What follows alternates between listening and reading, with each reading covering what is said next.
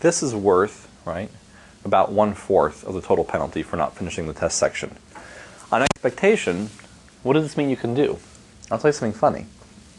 If, right, you get the first 10 questions right, every other question wrong,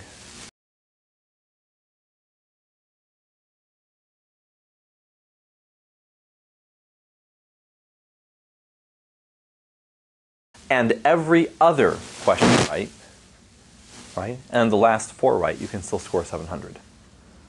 You can make a lot of mistakes and still do well, but your mistakes must be mistakes in very difficult questions. Does that make sense?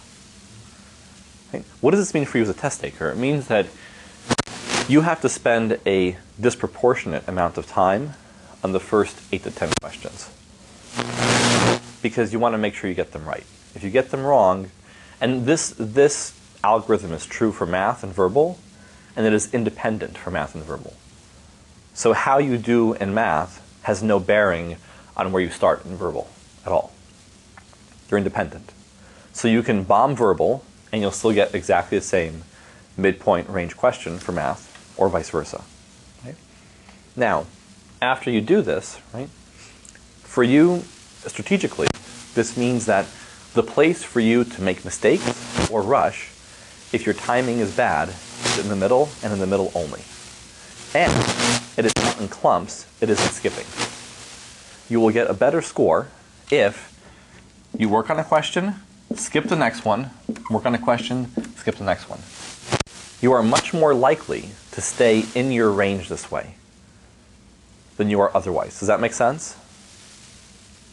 In other words, it is not wise to skip or to guess two or three in a row. If you're going to guess or skip, always skip one, work on it, skip again, work on it, skip again, work on it. This gives you the highest probability of staying, so to speak, in the zone. Make sense? Okay. Any questions about this? Yeah, I did it the other way around. I rushed to the end. That's Right. so this is, but this is, but this is, by the way, this is a, a common. The, the test is counterintuitive, given the psychology of most people. The psychology of most people is, let me rush as fast as possible to the end, and if I feel like I'm doing well, I'm doing well. On this test, it's the opposite. It's you spend as much time as possible in the beginning, skip rush in the middle, and if you feel like you're doing badly, you're doing well. Because you're hitting very hard questions. In other words, if it feels like, wow, this is so easy, I've seen this before, right? If the test is not difficult for you, you're probably not doing well on the test. There's a pool, and the pool has about 6,000 questions per year.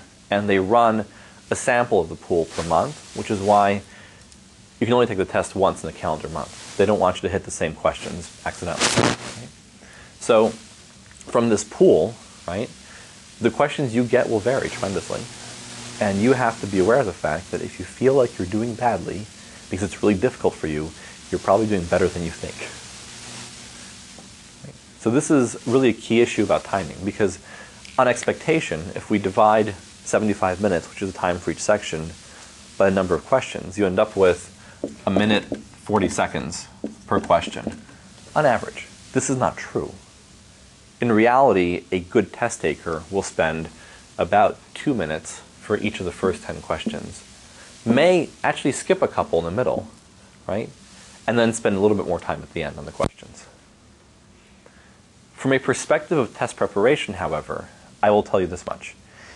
If your hit rate of getting problems right is not counted in under a minute, your preparation strategy is going to be off. In other words, you need to time yourself for purposes of this test for solving practice problems in a minute per problem, not a minute 40.